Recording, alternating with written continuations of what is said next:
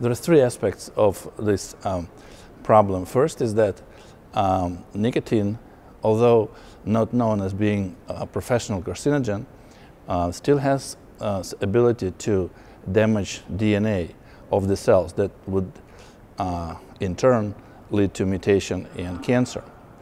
In addition to that, uh, nicotine can promote growth already existing um, tumors because it works as a universal promoter by uh, competing with the um, non-neuronal uh, cytotransmitter called acetylcholine.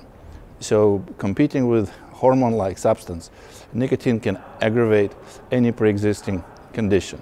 So that's as far as the ability of nicotine to cause cancer.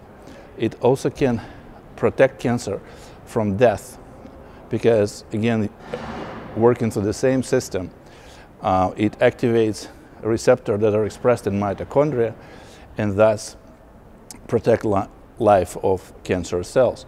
And as a result of which, uh, nicotine uh, survival of cancer cells that are being treated um, with chemotherapy and radiotherapy.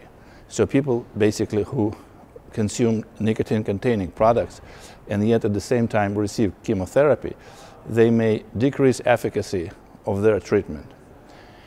And the last but not the least aspect of this problem is to use the receptors and the signaling pathways which are activated by nicotine to block that signaling and thus develop a novel approach to treating various type of cancers.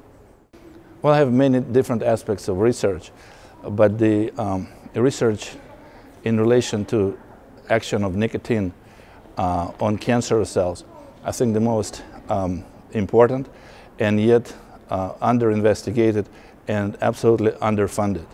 So uh, whoever hear this should think about donating or uh, directing more funds into studying potential harmful effect of e-cigs from the standpoint of the nicotinic pathways.